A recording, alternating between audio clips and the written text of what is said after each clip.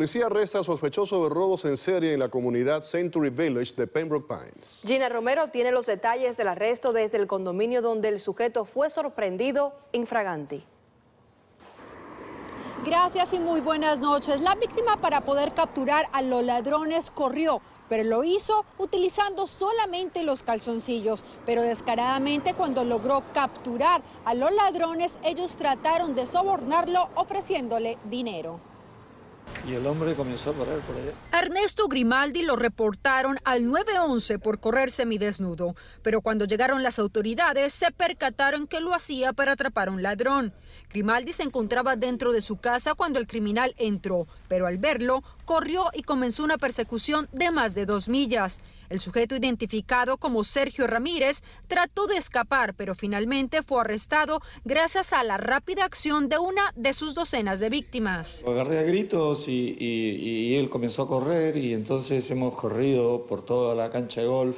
Él trataba de escapar y al final pues este, yo no lo dejaba ir. Ramírez fue arrestado junto con sus cómplices Bonet Bowen y Heriberto Ramos, quien lo esperaban fuera del condominio de Pembroke Pines.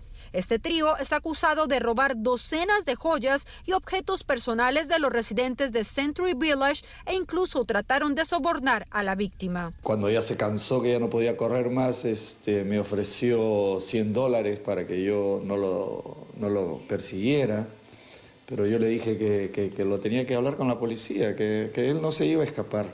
Sospechoso tenía en su posesión, en su auto, eh, varias piezas de prenda, más de 200, que creemos que son eh, relacionadas con los crímenes que han ocurrido en esa comunidad del Century Village.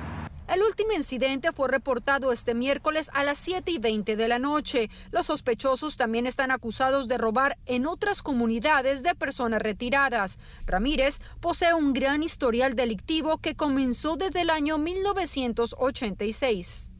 Y como ustedes escucharon, la policía de Pembroke Pines pudo recuperar 200 prendas, así que si usted fue robada en los últimos meses debe acercarse de inmediato al departamento de la policía. Por ahora es todo de mi parte, desde la ciudad de Pembroke Pines soy Gina Romero, regreso con ustedes a los estudios.